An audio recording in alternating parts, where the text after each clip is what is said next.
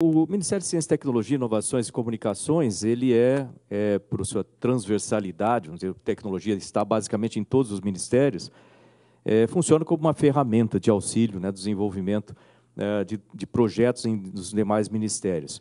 É, nós temos, nesse momento de pandemia, uma função central, porque, obviamente, é, envolve diretamente a ciência, a ciência é a única arma que nós temos para vencer o vírus em si, né, combater o inimigo em si, é, e ainda a parte de tecnologia, inovações e comunicações complementam outros dois eixos. Então, basicamente, nós operamos em três eixos. Um ligado diretamente à ciência, às ações da ciência, o outro ligado à tecnologia e inovações, o desenvolvimento de sistemas para combater os impactos da, da pandemia, e o terceiro, né, voltados com as comunicações, para manter o sistema estável e manter é, tudo funcionando com as pessoas em isolamento e assim por diante. Uh, nós temos aproximadamente 105, nós, é, exatamente 154 ações é, realizadas pelo Ministério, eu não vou é, discorrer sobre isso, além do trabalho normal do Ministério em, em situações como uh, o nosso Centro Espacial de Alcântara, que tem sido desenvolvido ao longo desse trabalho, é uma coisa que vai ser um, um realmente um empreendimento é, muito importante para o governo, um, um, empreendimento muito importante para aquela região, para o desenvolvimento econômico e social. Nós temos avançado bastante nesse sentido. É, também é, com relação à instalação de backbones de fibra ótica no na região Nordeste, na região Norte e Centro-Oeste. Então, na região Nordeste, uma ideia, são 77 cidades, aproximadamente 2.500 instituições de ensino, mais de 700 instituições é, de saúde também. Então, é, uma, é um empreendimento extremamente importante também para o desenvolvimento daquela região, além da região Norte, com mais de 10 mil quilômetros de fibra né, nos rios, que vai interligar basicamente todas as cidades é, da região Norte. E a Centro-Oeste, a ideia principalmente a, a parte agrícola, né, para trazer conectividade para o campo, que é também extremamente importante. Nós temos essas 154 ações, além das normais que nós, nós temos acontecendo.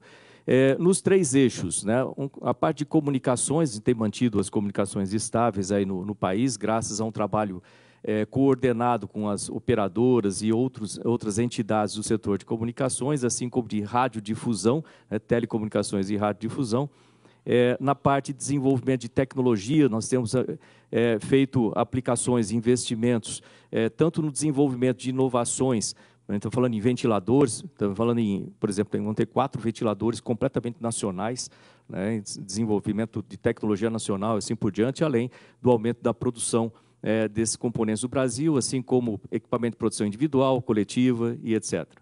É, na parte de ciência, nós temos ah, alguns, alguns, algumas prioridades ali. A primeira, reposição de medicamentos. A segunda, testes diagnósticos. A terceira, é, vacinas. Mas hoje, né, eu pedi esse tempo para focar. Né, quem quiser saber das ações do Ministério, né, para entrar em www.mcetic.gov.br, ali tem todas essas ações descritas. Uh, mas hoje eu gostaria de focar, eu pedi esse tempo para falar com relação a pesquisas de reposição de medicamento. Né? O Ministério, por sua natureza, trabalha com pesquisa e desenvolvimento. Então, desde lá de fevereiro, no Laboratório Nacional de Biociências, nós temos desenvolvido essa reposição. O que é reposição de medicamento? É usar medicamentos que já existem na farmácia né, para testar quais, deles poderiam ser efetivos no combate ao Covid, também, além das suas funções normais. Então, desses 2 mil medicamentos que foram testados inicialmente em sílico, né, usando inteligência artificial, é, cinco deles foram selecionados. Desses cinco, eles foram para o teste in vitro, ou seja, com células reais no laboratório. E desses cinco, um deles se destacou né, com uma efetividade de 94% para redução da carga viral. E esse medicamento é a nitazoxanida, né, um remédio comum para, é, para é, giardia, para rotavírus, etc. Ele não tem nenhum efeito colateral. Então, é, é uma possibilidade de que ele funcione no combate ao Covid.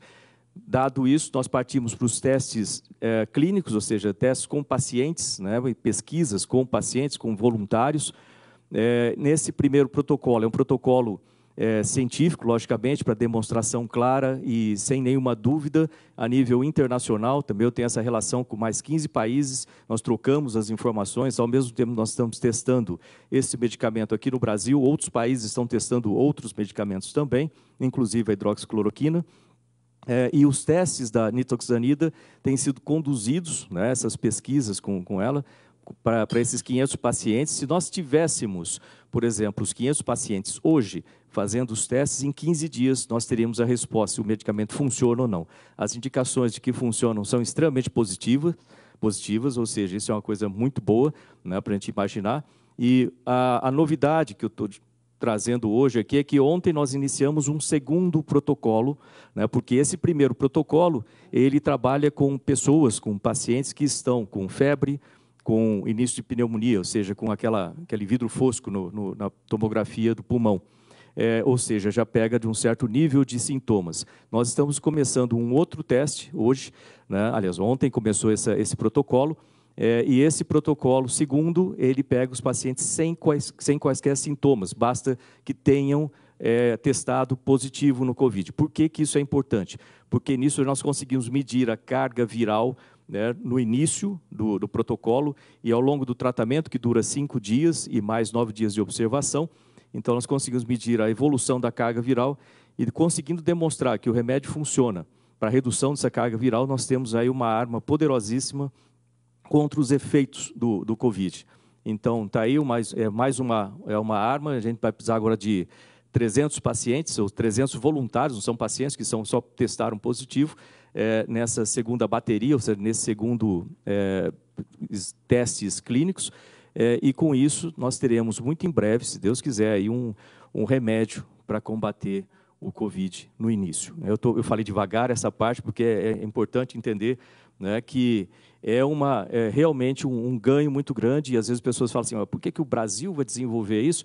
Isso não está sendo desenvolvido em outros países. Bom, o Brasil tem uma capacidade muito grande com os nossos cientistas, com os nossos pesquisadores, com as nossas infraestruturas, lembrar tanto que a gente já sofreu né, com relação a outros problemas no passado, de é, dengue, chikungunya e etc., né? Então, os nossos pesquisadores são excelentes de nível internacional, reconhecidamente internacionalmente. Então, isso é uma coisa que, muito em breve, nós teremos aí um resultado que vai nos ajudar a trazer o país à situação normal, se Deus quiser.